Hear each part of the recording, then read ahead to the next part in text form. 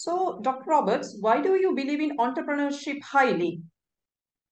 Yes, I believe that entrepreneurship is the single greatest economic engine on earth. I believe it levels the playing field.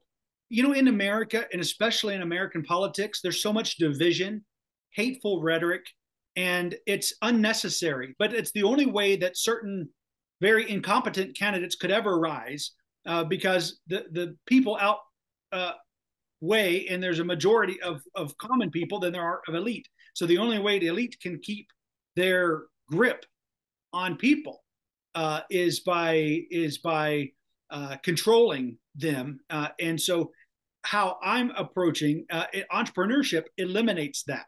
You're no longer dependent upon the government to, to feed you. You're no longer dependent upon a corporation uh, to provide for you. And then if you don't, they threaten with you with firing you yanking the carpet out from under you, and now you and your family go without. And and so there's a lot of people that cannot afford to take their opinion to work with them. they would be fired if they spoke their truth, spoke what is uh, they believe or what their viewpoints are. They would be fired. Uh, we saw during the pandemic that uh, corporations have more power than governments.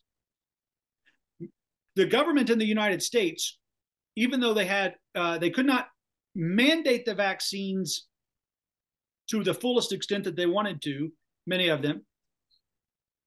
So they used corporations to mandate vaccines when they would say, you have to get the vaccine or you're going to be fired. And, st- and so they actually started choosing. Can you imagine when they come and say, you must have this medical procedure done or you're fired?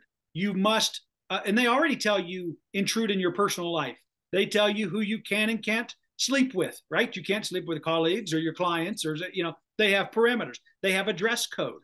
Uh, they have you can't wear what you want and look the way you want because in their mind you're representing their brand, right? So, but entrepreneurship is is the highest form of freedom, uh, individual freedom, uh, economic freedom, and that is what countries, if you want to grow your GDP, it's what China recognized uh, a couple decades ago and really started promoting entrepreneurship. It's what Spain did when they brought me over in 2016 to, you know, as part of the top 20 startup companies in the world and advising them uh, there. Uh, a lot of countries rec- recognize, even Russia, you know, that was had communist schools during the Soviet era, era especially transitioned in the late 80s uh, mid 80s, mid to late 80s, to start teaching economics uh, and entrepreneurship and, and business ownership. And the reason it was because they knew they must have that in order for their economy to flourish. So I greatly believe in it, both for nations to grow and for people and families to grow.